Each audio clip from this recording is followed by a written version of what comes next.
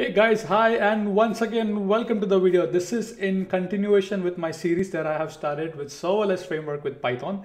This uh, session that is lab 7, I'm gonna go with a very basic hello world um, serverless um, code. Essentially what we're gonna do is you wanna make an API essentially that hits a Lambda and then slowly slowly i'll dive deeper and deeper and deeper. For example then we'll learn about authentication. We'll add an api key in that. So okay that's that's great. Then we'll uh, do a little bit more. We'll add cognito to that. So a little bit more to that right? Then essentially once that's done then we'll dive into quotas right? Uh, for example setting burst limit uh, rate limiting throttling all that okay? Once that is done then we'll look into okay how can we create multiple api keys each API key has a certain quota. Uh, so all of that uh, is uh, there in this series, not in this video. This is essentially a hello world. All right, all right. So let's get started. Uh, starting, uh, oops, starting this session with lab number seven. Amazon API Gateway is a fully managed service that makes easy for developers to create, publish, and maintain, monitor, and secure API at any scale. Um, what I mean by that is think of this as a Flask or a Django API that can scale up. Just think of it like that, okay? This is all I'm trying to say. So essentially it's used for making serverless APIs, okay? All right, all right, let's get started. So come to uh, my GitHub profile. As you can see here, I have all the labs here for you. This is gonna be a lab number seven, okay? So let's get started. So this lab uh, will essentially start with creating a very simple, and I'll use my magnifier because I know people do watch the videos from a phone as well. So this is lab seven and the, here I have a folder called learn. All you need to do is create two folders, serverless.yaml and handler.py. Handler.py is our essentially Lambda code, okay? So as you can see here, I have a Lambda, right? All it does, it spits out the event in the response, okay? And if you wanna go more in detail on how to add layers, external packages, these couple of labs, lab one, two, three, four are the one that you are looking for. But this is a very simple hello world, okay? Okay, so now let's keep going down the line. So org scientist 1995. So whatever company name you have, you can put that. App, you could put your app name. Console as true. Yeah, you know, I'm, I'm, I'm just providing that. But if you want, you can remove that. A service, uh, I'm just giving it a name, AWS Python HTTP API project. Whatever you want to give, you could provide that. Now here I'm saying provider as AWS, runtime as 3.8. I'm using Python 3.8, right? Memory, I'm giving uh, memory to essentially my Lambda, right? How much memory I want to give. Timeout, how much, uh, what is the maximum time my Lambda can run for? So I'm defining that. I'm defining my architecture. These are some of the tags that I'm using. These are good things to have when you are deploying your APIs, right? So for example, then it allows you to track cost based on tags, right? So env, when, I, when did I create it? Customer impact as false. Does this have a customer impact? No. Terraform false means I'm not using Terraform. So all these tags allows you to, you know, track your billing essentially much more easier. Then very easy function.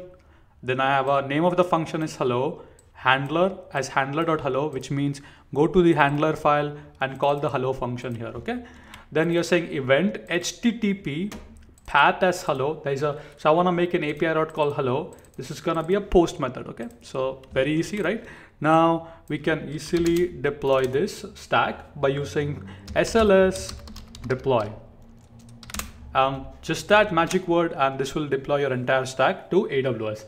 Serverless makes things very, very easy.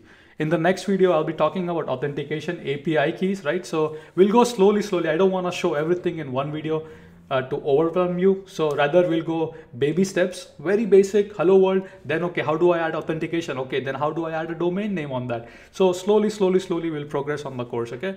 So uh, as you can see, this would be creating my stack. Might, might take about two minutes or three minutes, depending upon uh, that. But yeah, now you can use pandas, numpy, you can, you know, use um, what you call layers that, right? So in my previous labs, as I said, uh, I have all these, um, so in my lab too, I talked about how you can use layers, right? So this is the code that I showed you, I was using a plugin, right? So you can come and watch uh, those tutorials. The links are also there, okay? So if you are looking to add layers, another complex thing on your Lambda, there are videos for that. So please do watch out, okay?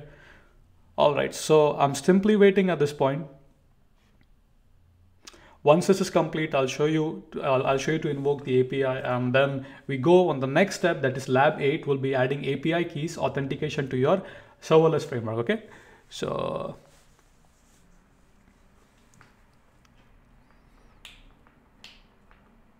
all right we are on step 10 almost there pretty close there is really a really lot more to add here as well. For example, as I said, quotas and everything. Then we have models, how you can validate your JSON body. Putting everything in a, in a YML file is simply amazing. But as I said, you don't want to go everything in one go, right? You want to go slowly, slowly, right? So as you can see now, this has deployed and it gave me a URL here. I will come here, click on copy, and then I go to my Postman. And this is the URL slash hello and now I'm hitting the API and as you can see I have my response back. It's simply spitting out the JSON. So as you can see works fine. Now I'll simply also show you on on the management console. So try to use framework. Try to use um, you know framework if possible right? This will make your life much more much more easy okay? So let's go service. Let's go API gateway. And hopefully I will be able to show you. I think I'll be logged out. Not much. Oh yeah yeah it's fine so as you can see, REST endpoints type is edge, right? So here you can see we have a simple hello route. Uh, essentially, uh, this will uh, you know call a lambda. As you can see, this is my lambda. It did all the deployment for me. Now, uh, of course, you can set concurrency, provisional concurrency, reserved concurrency, and all that great stuff that AWS comes with, right? But not in this video. We'll we'll cover all that later on. So this is lab number seven with the code. I would request everybody to please go ahead, download the lab and physically try yourself, okay? With that being said, thank you so much for watching. See you in lab number eight, where we will add API authentication in this, okay? Thank you so much.